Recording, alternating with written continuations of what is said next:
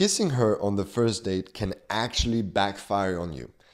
That's why probably sometime she resist the idea of going to your place, right? She's like, "Oh, I'm not this kind of girl.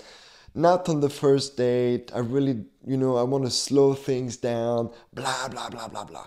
And of course, in your mind, you know that in the past she was probably not saying this stuff to the alpha guy, right? The one guy that she had sex with on the first date. She didn't have these objections. but with you, she has.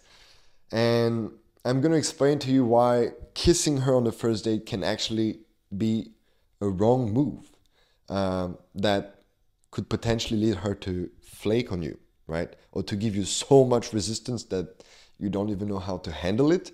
And then eventually, of course, you split up, nothing happens, you don't have sex with her, and you end up being lonely. Now, I am not here to say that kissing her on the first date is a bad idea, it's terrible, uh, you should never do it, right? There is no right or wrong way to go about your dates. Of course, you have certain rules to follow, but the best rule to follow is to follow your gut, to follow your intuition. And if you feel in your heart that you want to kiss her, go ahead, my brother. I am not here to tell you that this is the golden rule. Never kiss a woman on the first date. I am not here to say that, okay? Like, and I am not this kind of coach. Uh, I like to give more uh, openness to this game of like dating, and um, you know, you don't have to to follow this rule of never kissing her on the first date. But I'll explain you why sometimes it can backfire. So, first you need to understand that having sex for women is very different than for men because for women it involves more risks. I mean, we are more strong, we are more violent because of our high level of testosterone, right? So it means that she could potentially risk rape, getting beaten, blah, blah, blah, right? On the other side, there's also the risk of unwanted pregnancy. If you have a bit of experience with women, you probably have heard um, some fucked up experiences like the guy pulling out, taking out the condom, and then fucking her raw without her knowing about it. And that's kind of fucked up, you know, and then he comes inside of her. This is not um, some random, very unique experiences. It happens often. And for women, it just develops this mentality of I cannot trust men because of this kind of fucked up things that happen to them, right? And lastly, on a very biological level, um, a woman want to make sure that if they have sex with you, you're going to stick around, right? Now, of course, the society has evolved. Uh, women have evolved also, like they feel more free to have sex. Uh, there's the contraception right now. There's a bunch of new things that have changed the rules of dating, of course, but the brain hasn't changed the body hasn't changed. That's why a lot of women still have this defense mechanism, this anti-slut mechanism, uh, you know, all of this stuff that basically creates a lot of friction in a dating, right? It's not that easy to have sex and date a woman. It's not that easy because women are very picky. They want to make sure that they actually date the right guy that will be the alpha, right? as crazy as it sounds, as fucked up as it sounds. I know a lot of you are, are going to be like, ah, I will never be the alpha, blah, blah, blah, but you can become that. It demands some kind of work to do. And this is why a lot of men decide to join my mentoring because they, they know that to become this kind of man, they have to do the work, right? So this is very important to understand, right? On the biological level, sex for women is a risk and it involves a couple of things. Yeah. And of course, for a woman, if you kiss her, it means that you have the intention to have sex with her. Of course, I mean, it is very intimate to kiss a person on the lips.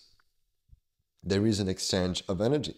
If you're familiar with uh, Chia, the, the work of Mantak Chia, the multi orgasmic man, he talks about this that lips is actually a vector of transferring your sexual energy. So it's very, very intimate. So when you take this into account, if you kiss a woman, it directly signals to her that you want to have sex with her. And because it signals to her that you want to have sex, she's going to instinctually put the walls, put the anti slut defenses, right? So that's why kissing a woman on the first date can, can backfire. And also, you need to remember that all the other guys that she had a date with probably did the same. So you aren't special at all doing this. and I know it sounds a little bit fucked up to say this, but this is the truth. Every single man that go on a date usually try to kiss the woman on the first date. Nothing special, nothing new, nothing fancy, boring almost, right?